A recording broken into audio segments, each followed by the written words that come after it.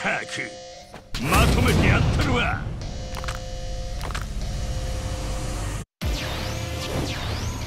えなんだよ。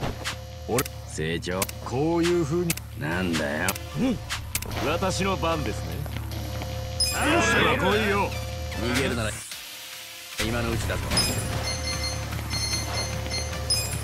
プレゼントだ。俺の番ねやんのか私が相手だ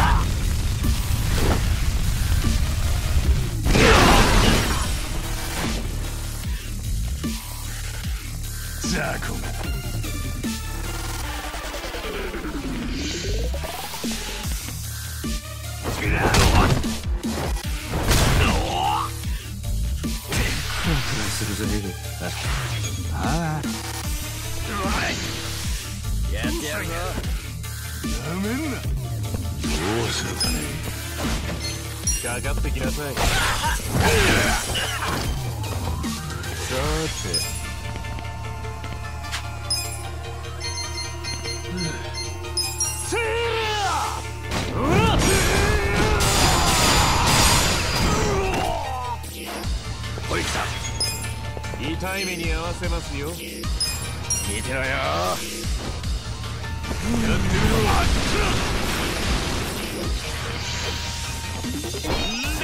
返しや。するぜ俺の番か。かかってきなさい。返しや。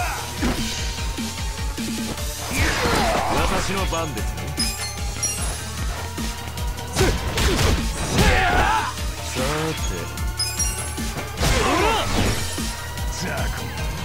俺の番ねよし。これで元通りだ。よし。行くぞ。い目に合わせますよ。回復だ。どうするかね。うん？ほら来いよ。行くぜ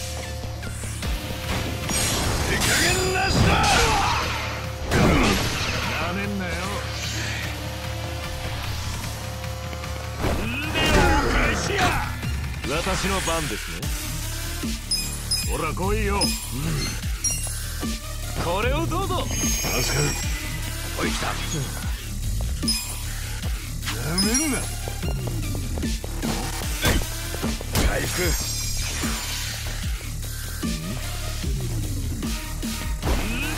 返しや俺の番だな。とっておきだ俺の番か。逃げるなら今のうちだぞ。やってやろ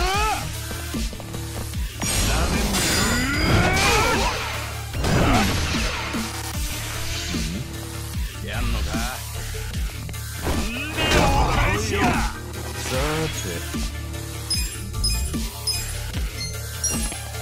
これを！ありがとかかってきなさい。やってみろ。してみろし行くぞ！私が相手です行くおっ！しゃ行くぞ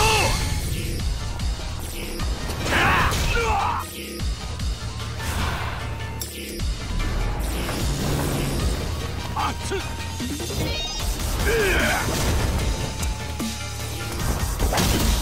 とどめだ！おら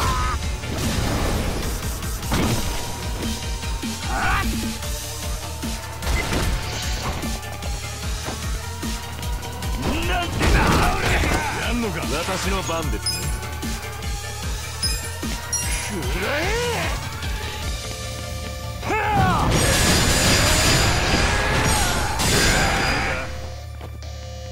どうするかね？行くぜ！逃げるなら今のうちだぞやって！痛い目に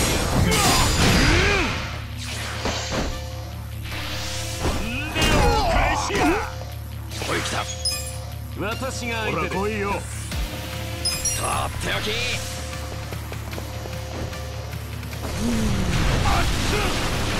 かってきなさい。お返しやさ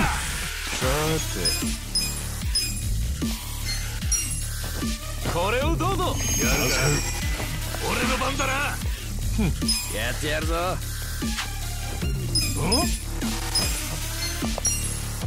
こいつを使え。ありがとう。私が相手で俺の番か。なめんなよ。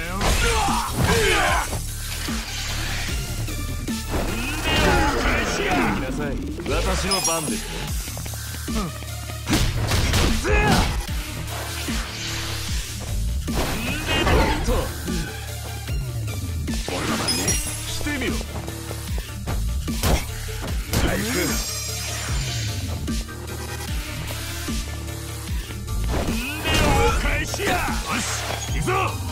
私が相手です。やってみせてやるよ。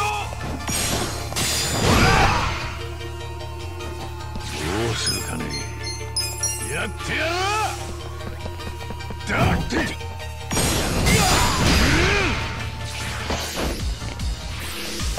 お返しや。さて。なめんなよ。これを。サンキュー。俺の番だな。逃げるなら今のうちだぞありがとうおい来たしてみろ。やってみろ。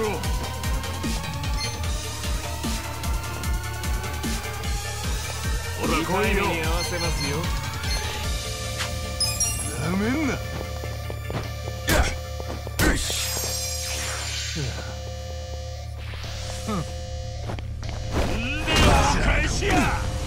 私の番ですね。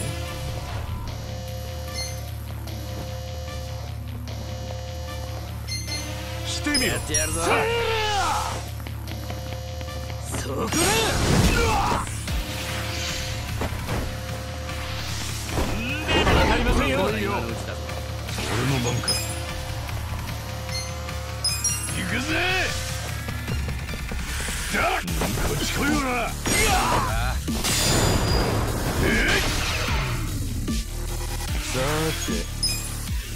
くらえやる。かなめんな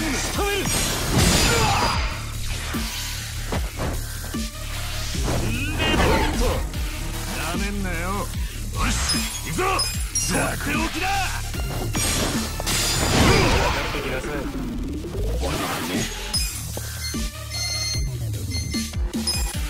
見てろよ。してみろ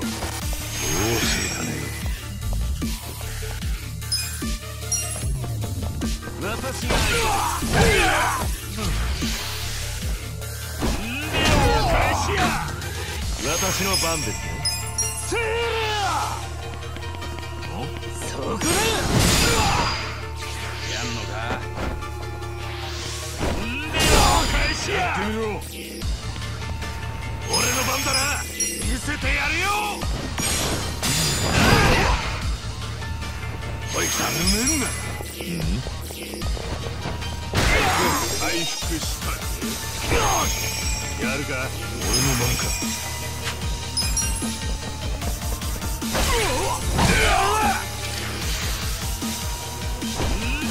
返しやよし行くぞとっておきだ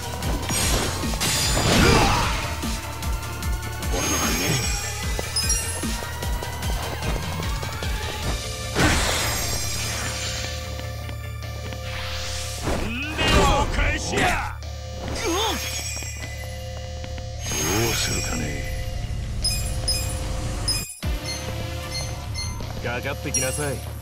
これだ。ありがとう。すっきりしましたね。さて。ほら来いよ。わかりませんよ。じゃあこれ。俺の番だな。見せてやるよ。おい来た。やんのか。に合わせますよ私の番ですね。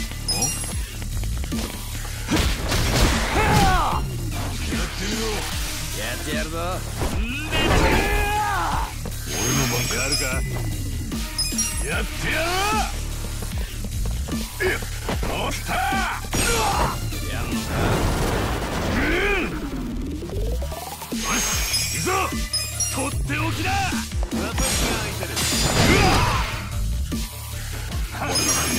なめんなよ。回復したね。さて。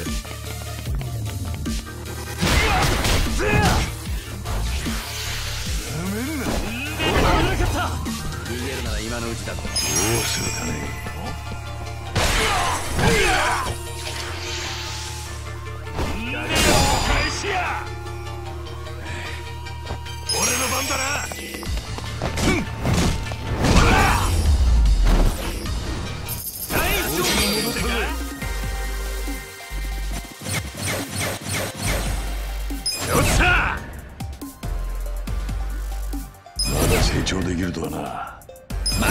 強くなっちまったか。さらに強くなれましたね。またいい女になっちゃった？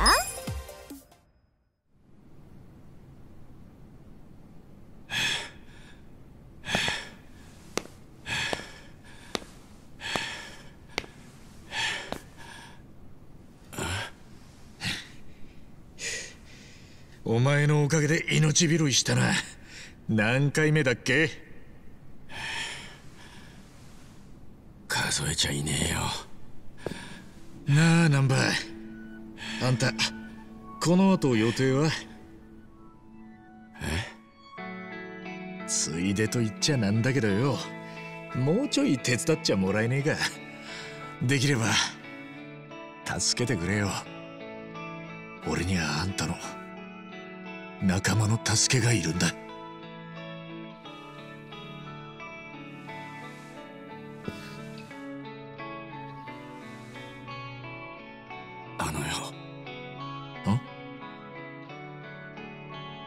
こんな俺を仲間だってまだ呼んでくれんのか？ああ当たり前だろ。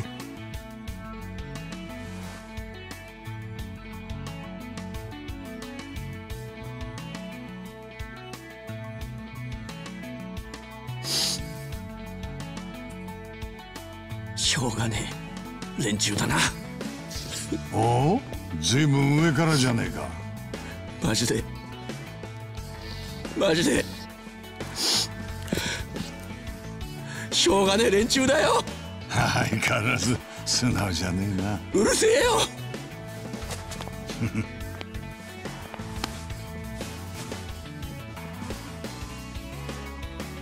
確かにしょうがねえ連中だけどお前の仲間だぜ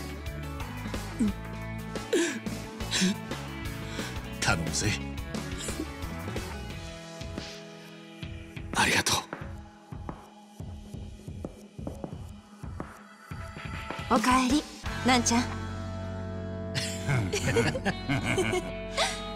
なんだお前。泣いたのか。え？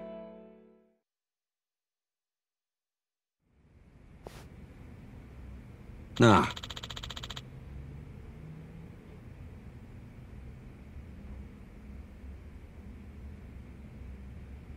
ええ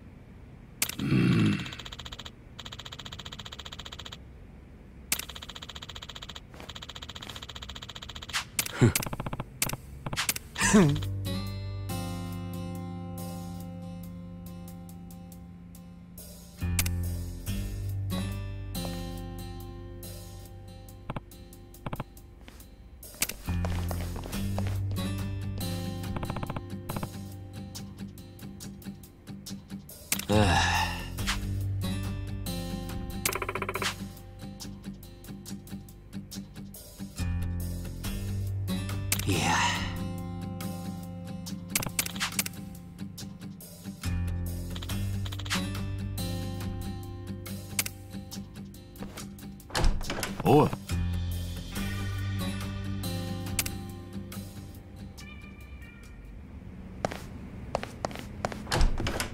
春日君こっち誰だよ俺に会わせたいってお前の昔の知り合いだってさただ春日君以外の人にはまだ顔見られたくないらしいそいつがあんたを助けてくれたってことかまあね。と言いつつその人も近江連合なんだけど。名前は？聞いてない。教えてくれなかった。会ってみりゃ全部わかるか。そういうこと。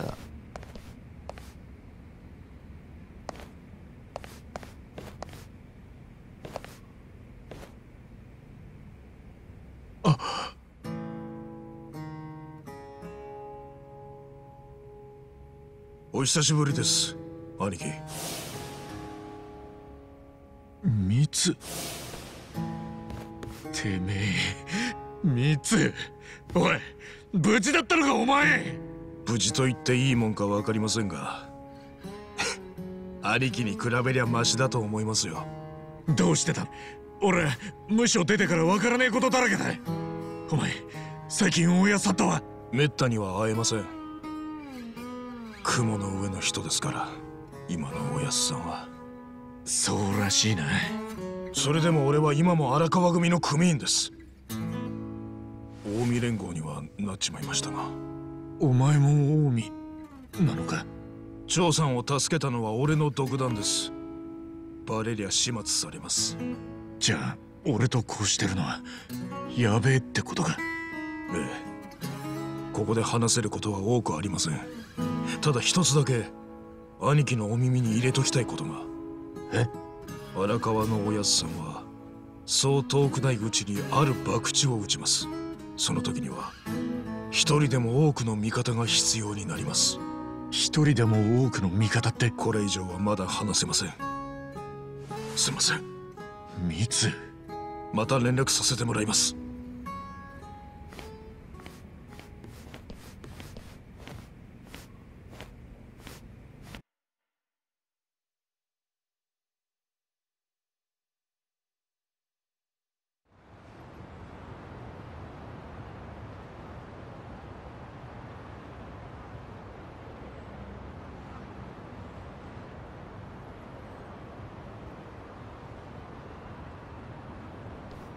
半品リウム春日君も結構濃く肉の壁はすっかり穴だらけ。そんなに。ああすぐに立てのところがボスがこ見てるだけで痛そうだよだから俺はそうえ？ハピン・リューマンにとってボスが誰何よりも大事なのはうちの部下だわかるでしょ？あ。でも今の俺にはそれをもともと人をまとめんのは柄じゃない気してたんだけど。俺親父が先代。あちょっと待てって。じゃあ次の。一人タフで図太。あ？孫飛さん。損費って半？今日まで狭い壁の中でリューマンとけどその壁が崩れそうなお互いに背中預けなきゃ自分たちの居場所はまああ。それが納得いかないってうちのメンバーはさらに去っていくだろうね。仮にそうなったとしても偉人さんは大きく体制を見直す。なるほど。おお何が？孫費が半品リューマンを束ねりゃアジトを焼かれたコミジュルにも居場所を。あんたは自分の部下だけじゃなくコミジュルの連中もた。春日君ってさ野暮なことも。あんたいいやつだよ。だからやめろって。でもまあ偉人さんはお前らに大きな清流会も感謝してると思うね。清流会ならあの会長からは。歌詞だが俺はこの偽あの人には聞きてえことが今の俺らになら話してもらえそうな気も。おおいけると思うね。じゃくれぐれも星野会長によろしく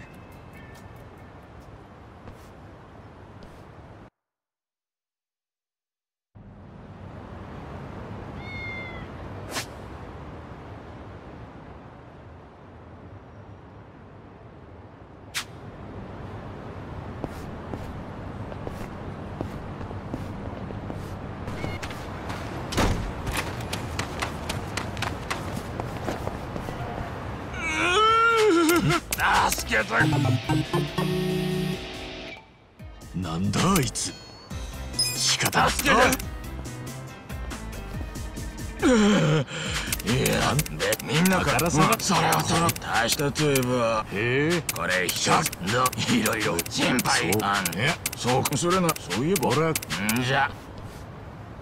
あいつ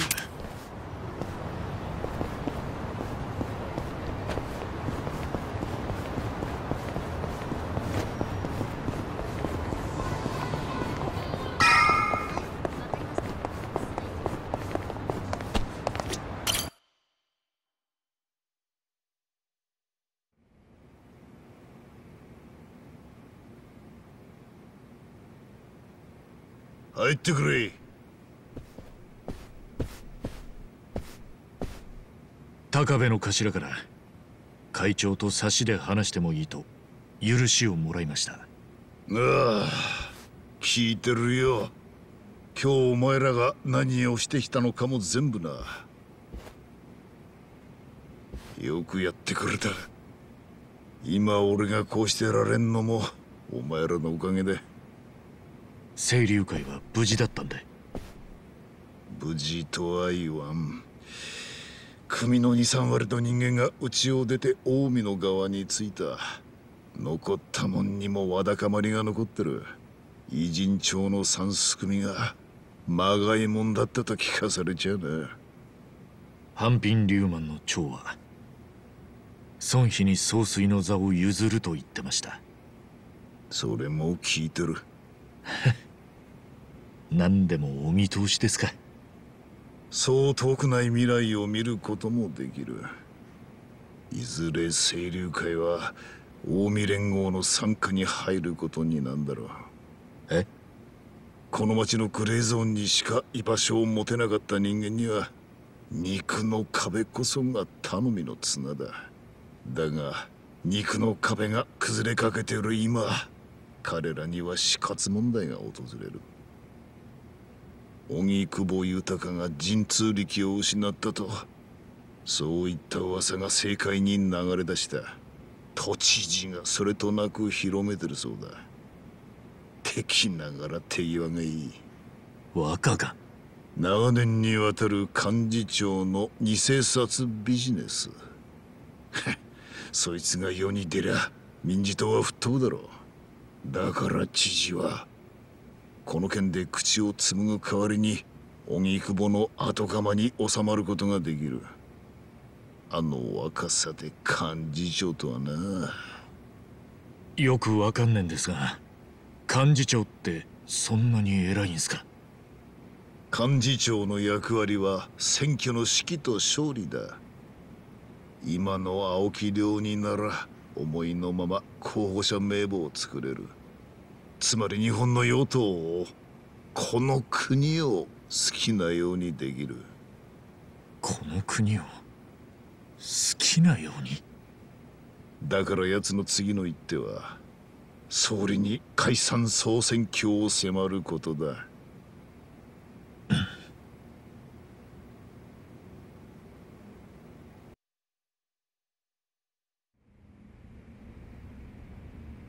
解散総選挙？バカな。このタイミングで。総理荻窪先生に頼れなくなった今さぞ不安をお感じでしょう。ですが私にはあの人よりも総理をお支えできる力があります。今総選挙となれば議席の3分の2以上を確約しますよ。何か具体的な策があるのかね？民事党が弱い選挙区にはブリーチジャパンの支部長たちを立てます。どの地域でも彼らは強い支持を受けています。何よりこの私が後ろ盾ですから。我が党の圧倒的勝利であなたの個人的な政治悲願も叶うでしょう。総理は今ご自身に党内の求心力があるとお思いですか？荻窪先生の後ろ盾もなく。答えにくい答弁は議場でだけにしてほしいね。私を幹事長にした上で解散総選挙。それが飲めなければ荻窪先生の裏の仕事が世に出ます。現政権どころか民事党も消し飛ぶでしょういやしかし都知事が幹事長を兼任した前例など何より年齢が若すぎる。なら私を止められる年寄りを連れてくればいい。もちろんそういう人がいればの話ですが。どこかにいらっしゃいますかね？あ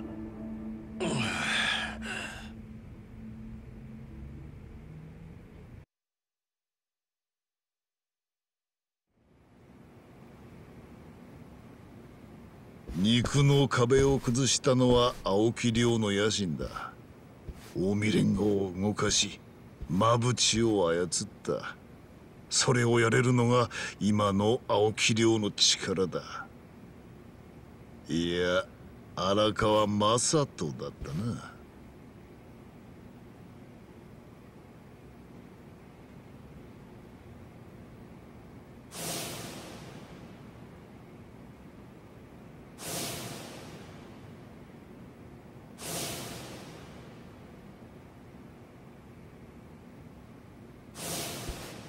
春日。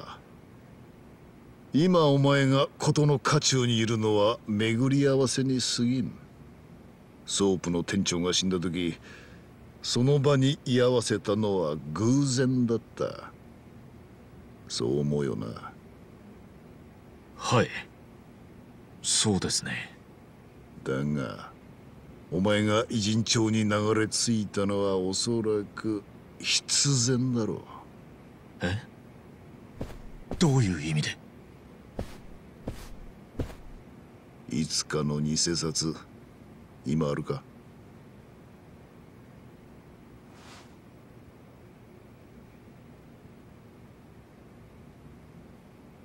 会長はこれを誰が俺に持たせたか知ってるっておっしゃいましたよね？ああ。その偽札を持っていることができた人間はこの世にただ一人。誰なんです？それは。荒川真澄だ。おやっさん？いやでも俺はそのおやっさんに撃たれて。ああお前は荒川に撃たれた。だが荒川はお前をこの町に運び込ませるために撃ったんだとしたら？え？その偽札はこの俺への紹介状だ。もしもお前が俺の元にたどり着いた時春日一番が荒川真澄の身内だとそう知らせるためのな。紹介状ってなんでそんなやり方を？俺の見立てじゃ青木亮の野心とはまた別の動きが荒川にはある別の動きそれ一体。そこまではわからん。だがそれを紹介状として使ったのならよほどの事態だと察するがな。会長あなたと大家さんとはどういう？そいつは長い昔話になるだがその話をするのにふさわしい場所はここじゃねえ。平安楼だ。平安楼？俺と荒川との因縁は全部あそこから始まった北京ダッグが好物らしいなあいつは。ええ。明日のランチでお前にも食わせてやる。席を予約しておこう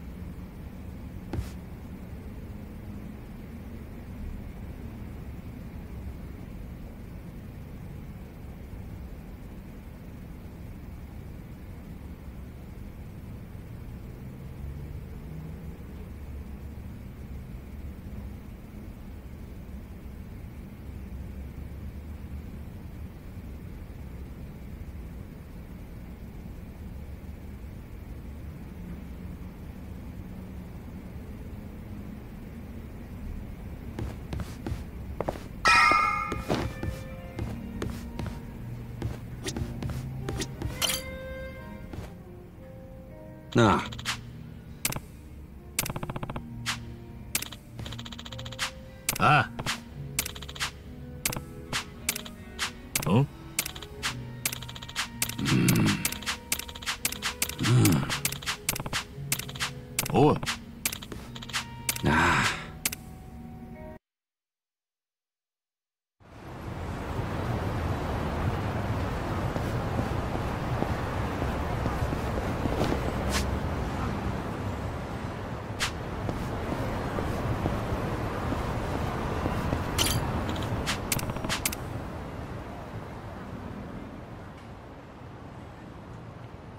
一仕事すっか。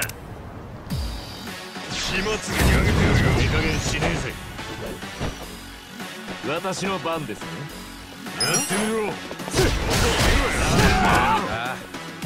おい来た。私が相手です。おいよし。行くぞ。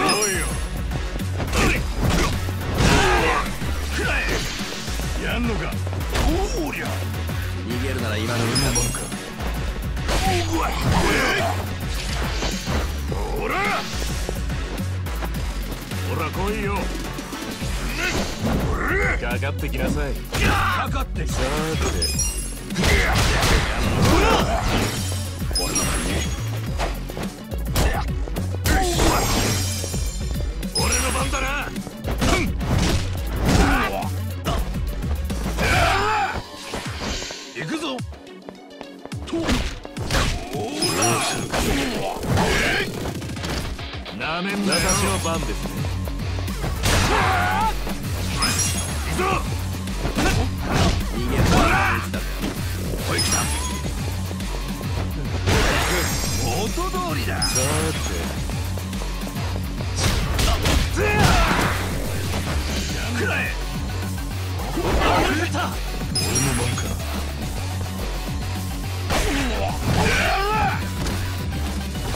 の番ですしてみろ。俺の番ね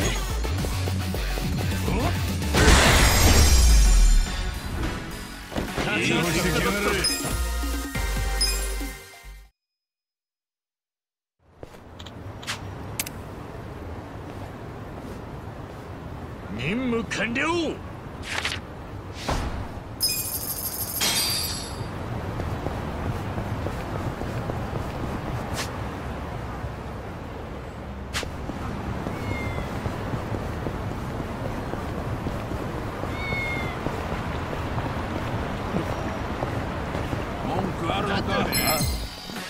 文句あるか？さてどう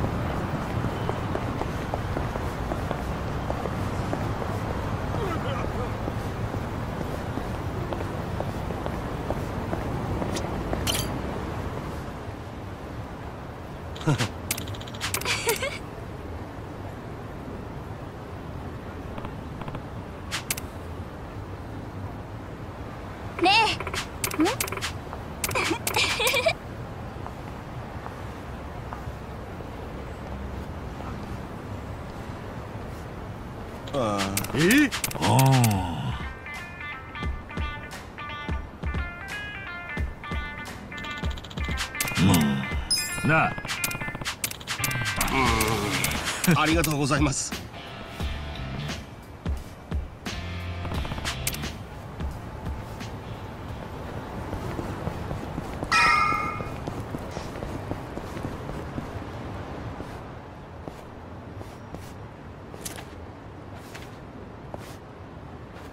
村長。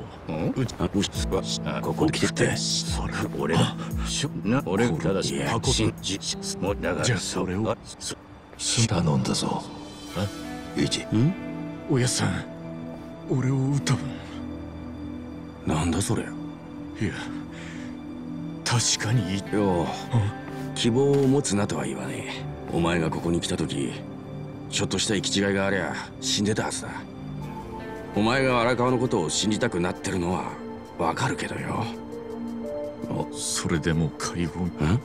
いや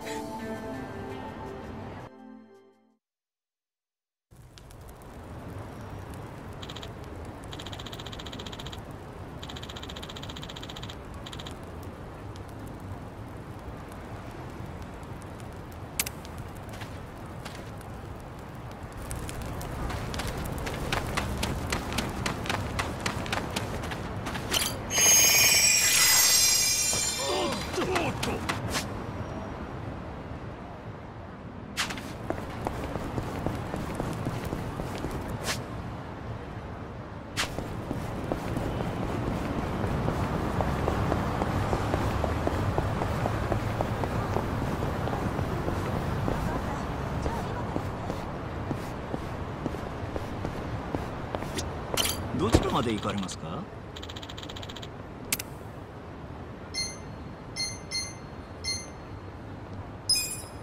それでは出発いたします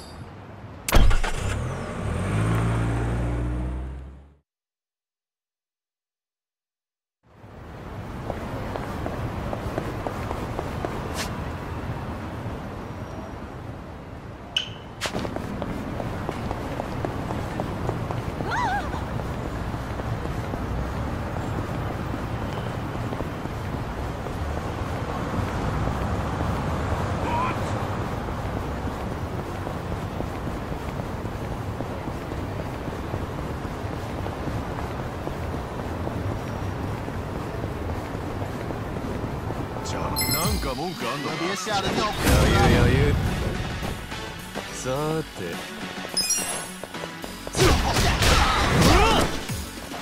行くぞとっておきだ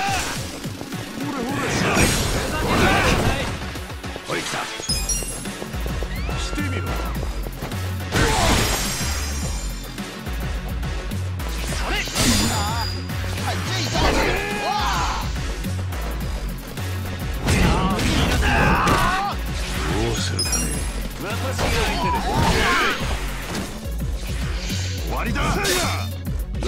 私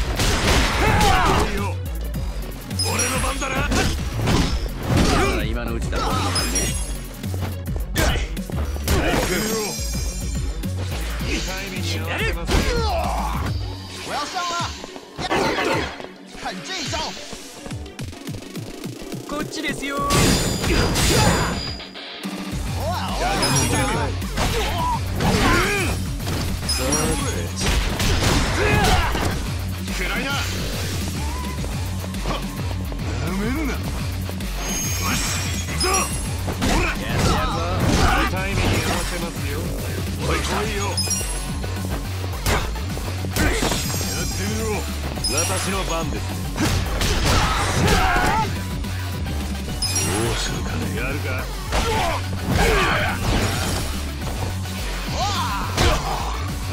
さて。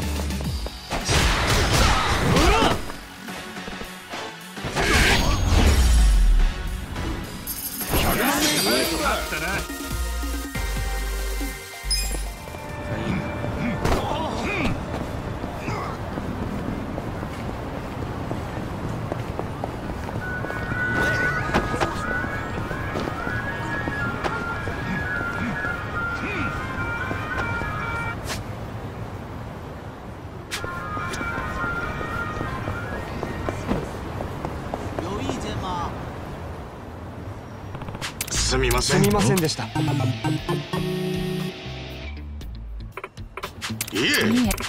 え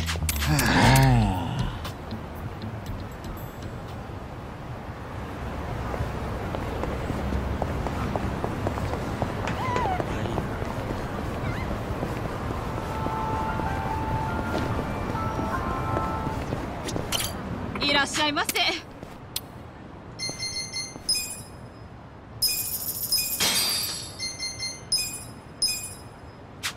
とうございました。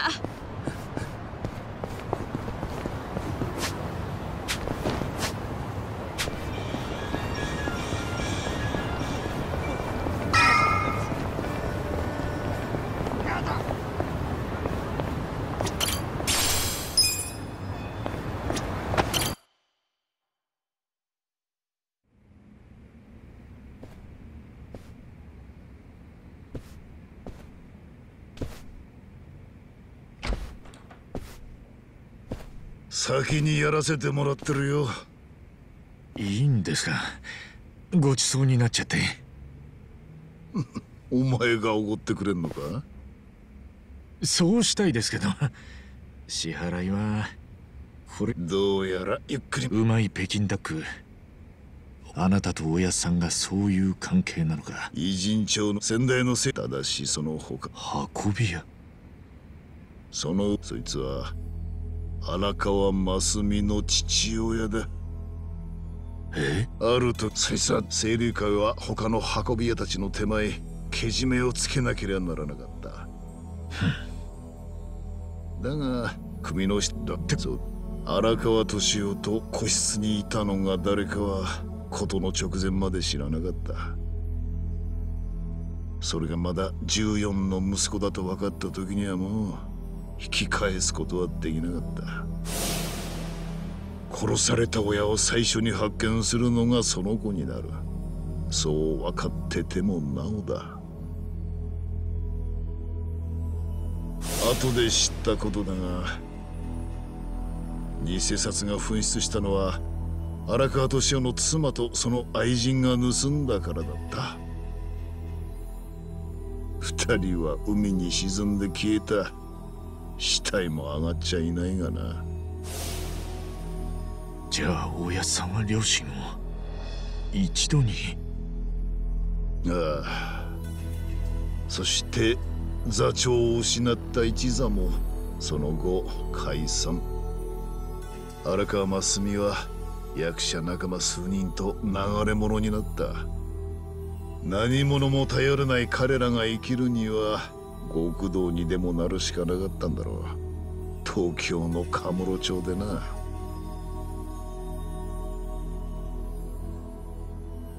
荒川が入っずいぶんきついとこだったらしい。殺しも平気で請け負うような。だからマジですか。荒川真澄も当然それを手伝わされたわけだが。ただその死体の始末に彼はわざわざ横浜の偉人町のホームレス街を使うようになっていった。え？東京のく？少したったあの日一瞬だけ見た怪しいボーイの顔。そして事件から7年が経っていた。ある日差出人は荒川真澄だからボディーガードも誰もつけず。一人で？危ねえだろな。じゃあどの道ろくな死に方はあの時の子供に殺されるのならいくらかマシなんじゃねえかってな。俺にとってあの殺しは喉に刺さった小骨みてえに引っかかってずっと消えなかった。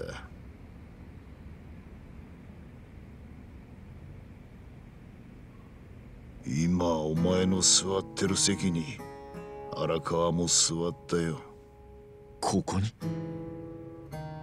ええまだ二十歳を過ぎたかどうかってその目はもうそして俺はなぜ荒川敏夫その理由をどうせ殺される身だ？偉人帳の秘密だ。その間銃を手にしていた荒川はだが俺の話に全く口をそのまま出て行こうとする荒川を俺は引き止めた。復讐しに来たんじゃねえのかってな。でおやさんは？あんたがふてぶてしく俺の正体を無視してくれりゃ背中から撃てたのにな。そう言って。おや1984年に日本の満節はその時自分の組を持つまでになっていた荒川に贈り物。ああ福沢諭吉が書くそれもわざわざ裏面を白紙にした特注のなんで説明は難しいな恩義と。ああ俺はだが彼は俺の命を取らず胸に使えそれだけじゃねえ。偉人さんの均衡を保つことも彼のおかげすに荒川には途方もない恩を受けた。だがその気持ちの印がそのえ偽札の秘密は俺や偉人長の急所だがその秘密が保たれずっそしてもし俺を生かしておいたこといつでもそいつを使って俺をその二つの気持ちがそのつもりで実は恩義平行を忘れず賞や罰を常に適切に与えられるという様子を俺が背負っているものにふさわしいさすがにほとんど消えちまった。